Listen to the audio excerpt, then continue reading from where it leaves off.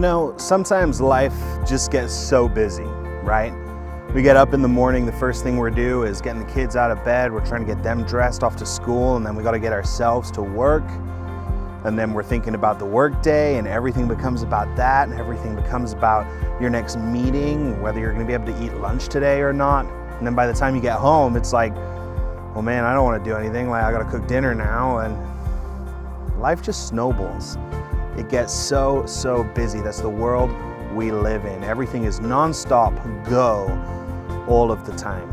You know, there's this story in the Bible, and it's Jesus gone to his next village, his next place, and he stays at a lady's house named Martha.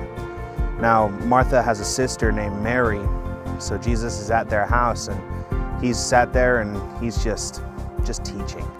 He's just pouring out the good stuff. And Mary, Martha's sister, is just there receiving it all. But Martha is in the kitchen. She's trying to get prepared. She's trying to get the food ready. Jesus is staying at her house, right? So she's trying to get everything prepared, get everything ready. And Martha's just so anxious about everything. She runs into Jesus and she says, Hey, Jesus, are you going to tell Mary to help me out here? I'm trying to get all this stuff done. I'm trying to work. And Jesus looks at Martha and he says, Martha, Martha, you are so anxious over serving, over this idea of being prepared. And with all this busy work, Mary has it right.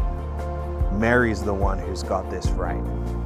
She is receiving the good portion. And so that's my question for you today. Are you taking a moment to just receive what God has for you? Are you taking a moment to spend time in His Word? Are you spending a, a time with Him in prayer?